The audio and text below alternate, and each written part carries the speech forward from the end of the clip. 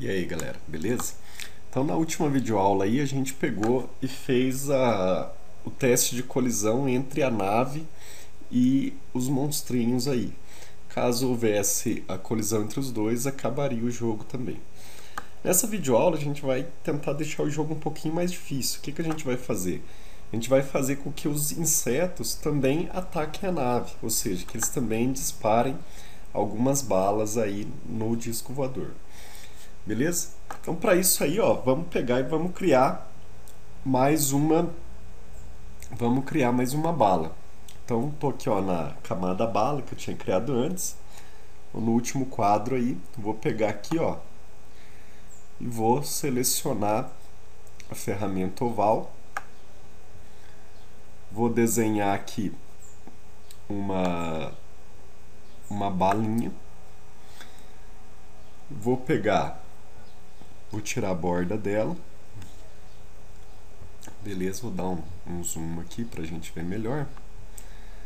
Vou clicar nela e vou converter ela em Movie Clip também. Então lá, Modify, Convert to, Movie Clip, bala do monstro. Certo? Eu vou marcar aqui para exportar também para o ActionScript. Então exportei, ok. Muito bem.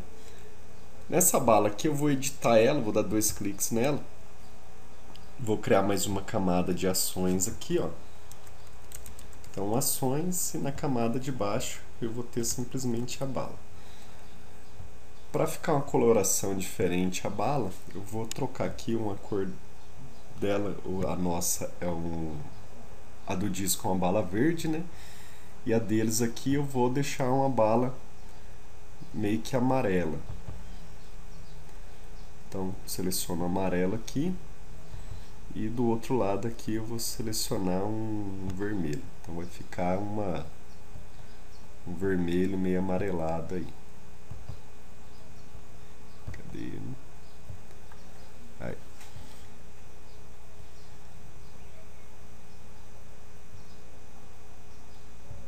Bom, vou pegar aqui e vou criar mais um degradezinho aqui, meio pro preto, para dar um contorno, um pouco de contorno nela. Beleza. Bom, agora a gente já pode voltar para a cena principal.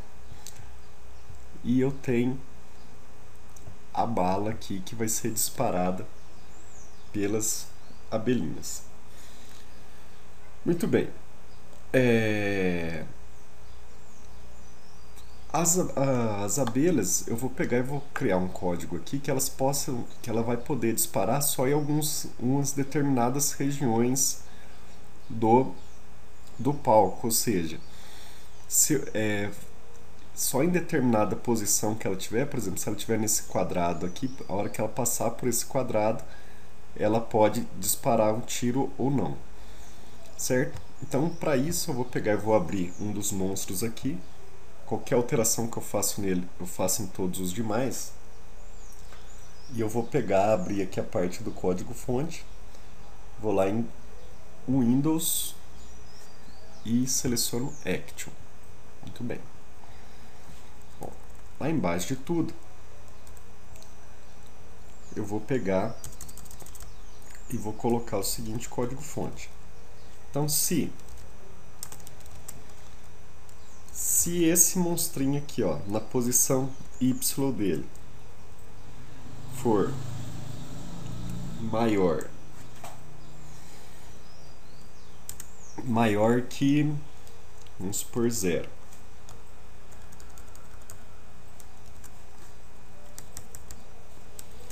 E esse monstrinho parênteses é para cá. E esse monstrinho, na posição Y dele, for menor do que 30, então, ou seja, ele vai, se ele tiver aqui, ó, entre 0 e 30 pixels, nessa faixa aqui, então ele vai poder atirar. Mas agora eu vou verificar a posição Y dele também. Então, vou colocar um outro if aqui. Se. Esse mesmo monstrinho. Ponto x. For. Aqui eu vou aumentar um pouco pessoal. Vou deixar 40 pixels aqui. Se esse monstrinho for maior do que 30 e esse monstrinho for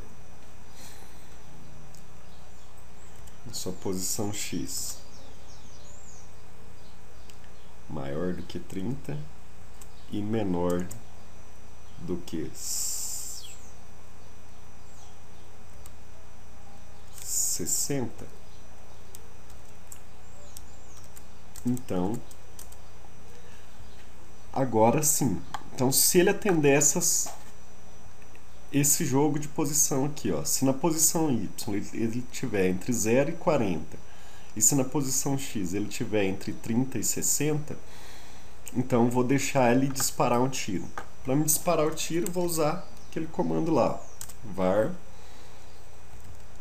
bala monstro, vou colocar bala monstro 1, dois pontos, move clip é igual a new, e aí eu pego o nome da minha action, do meu movie clip, desculpa, que eu acabei de criar. Então, bala monstro. Então, bala, bala monstro. Criei a bala, agora eu tenho que adicionar ela no, no estágio, no frame, no timeline principal lá. Então, X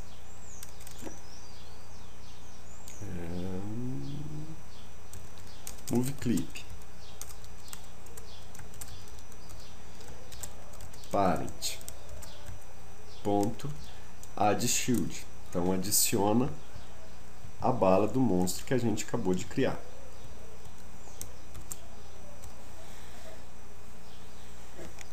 E a gente vem e posiciona agora a bala onde que ela vai ficar. Então bala monstro 1 ponto x então a posição coordenada x dela por enquanto vai ser a coordenada do monstro. E bala monstro.y vai ser igual a coordenada y do monstro mais 10. Então vai ficar um pouquinho mais para baixo. Vamos dar uma olhada aí se está funcionando. Então, Flash Professional, vamos fazer o teste, vamos ver se deu algum erro. Beleza, tá criando as balas aqui já, né? Olha lá para você ver, um monte ainda.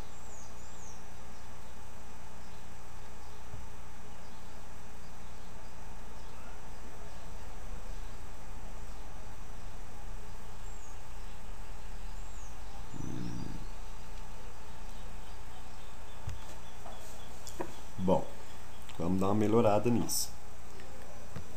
Então, se na posição y for maior que zero, então aqui eu vou deixar maior que 30,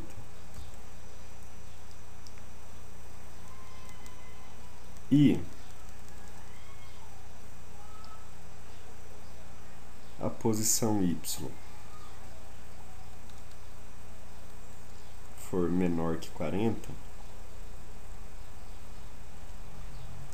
e a posição x for maior que 30 e for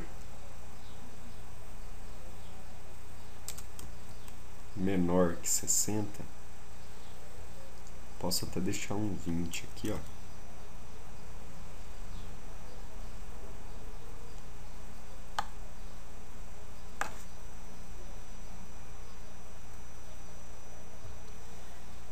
Muito bem fazer o teste novamente aí.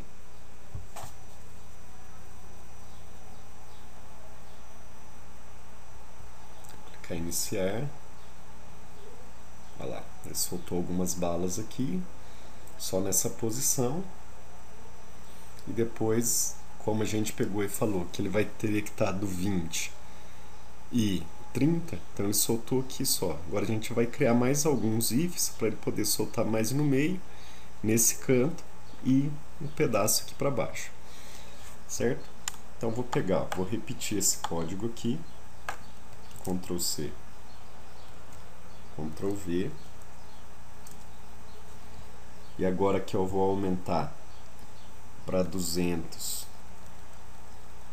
e para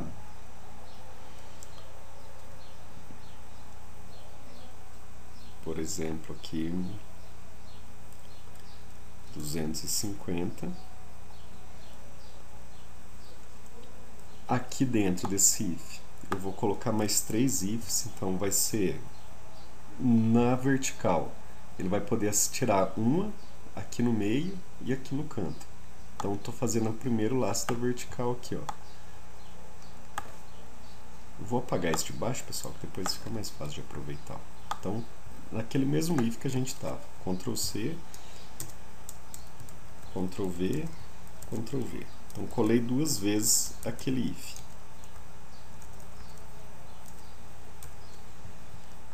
Então quer dizer o que, ó? Que nessa faixa aqui, ó, entre 20 e 40, pega lá do zero, desço aqui 20 e 40, então a hora que ele estiver passando por essa faixa aqui na posição, ele vai poder atirar em três pedaços. Quando o x dele valer 30 e 60. Então, vou pegar aqui, ó. Aqui está o 30 e aqui está o 60. Então, ele pode, a hora que ele passar por aqui, ele pode tirar. Depois eu dou mais um espaço, a hora que ele passar, por exemplo, pelo 200 e 250, ele pode atirar de novo. E a hora que ele passar aqui pelo 450 e 480, ele pode atirar de novo. Então lá, entre 30 e 60, entre 230 e 260 e aqui por exemplo entre 430 e 460 então nesses três pedaços ele pode tirar agora tem um if, outro if, outro if e um if grandão aqui. Vou pegar esse if vou copiar ele e vou colar para baixo Agora eu vou controlar a posição Y. Então entre 20 e 40 no Y, na altura ele podia alterar. Então vou mandar ele vou mandar ele atirar mais para baixo também. Então vou aumentar aqui, ó, a hora que ele tiver entre a posição 60 e 100, ele pode voltar a dar tiro de novo. E mais uma vez aqui, copia e cola. A hora que ele tiver entre a posição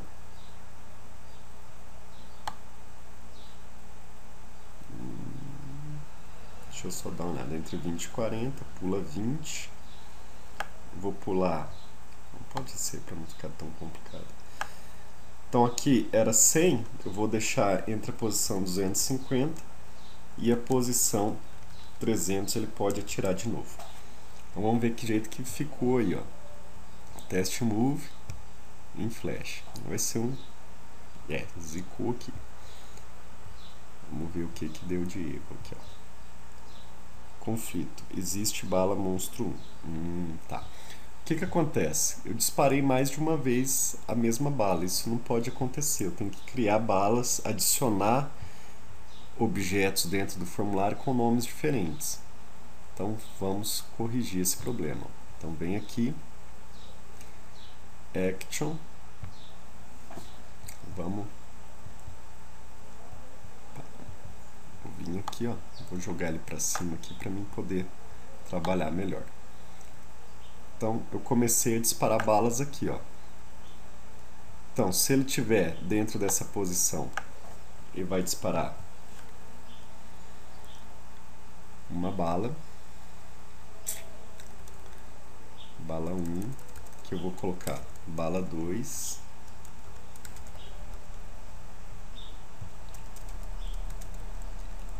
Bala 3.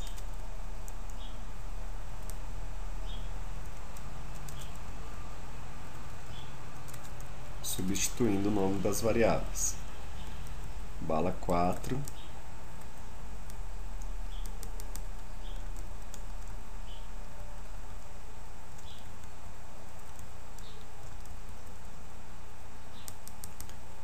Bala cinco.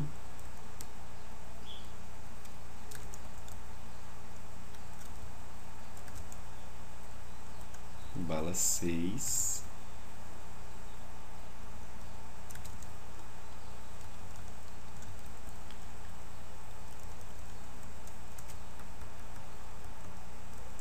Bala sete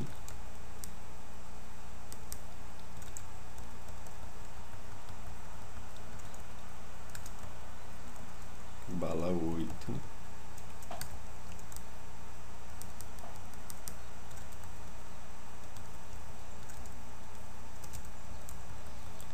bala nove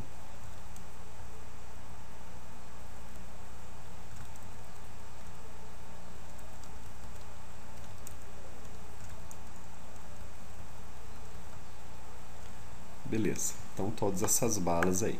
Vamos testar novamente.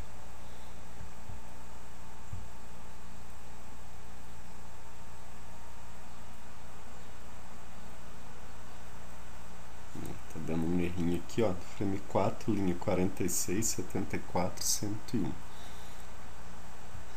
Vamos dar uma olhada, linha 46.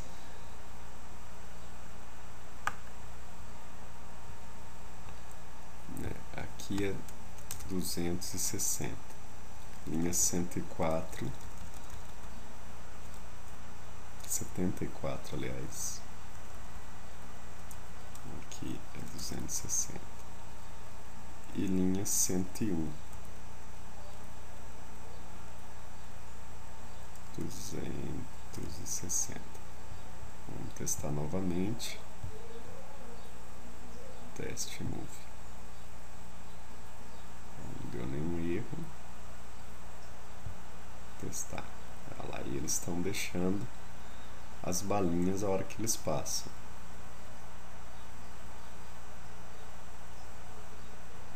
Deixou um pouco aqui, deixou mais um tanto ali. E aí acabou. O que a gente vai fazer agora? Agora a gente tem que fazer essas balas andar né, e sair do quadro. Então, vamos lá.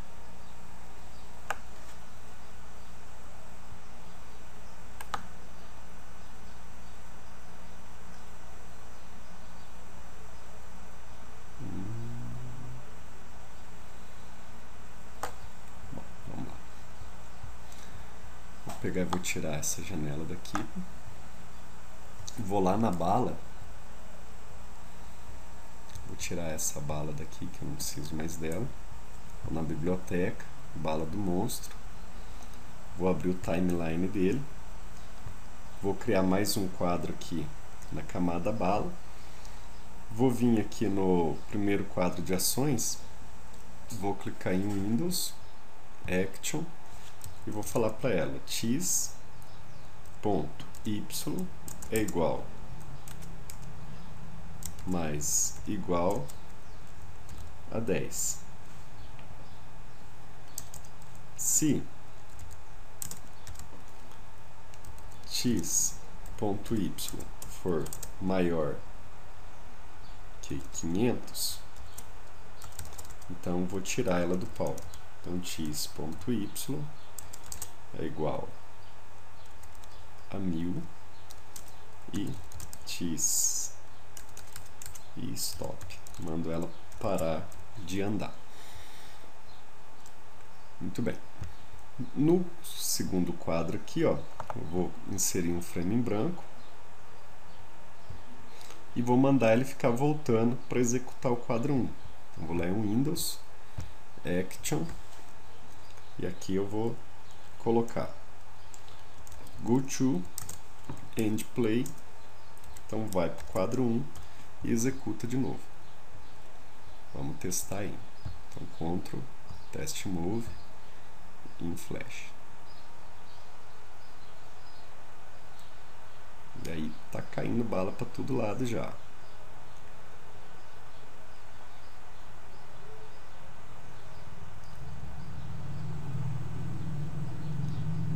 acabou o jogo. O que a gente vai fazer agora? A gente vai verificar se essas balas atingiram o nosso bichinho aqui. Mas isso eu vou deixar para a próxima aula aí. Então, até mais, pessoal. Um abraço.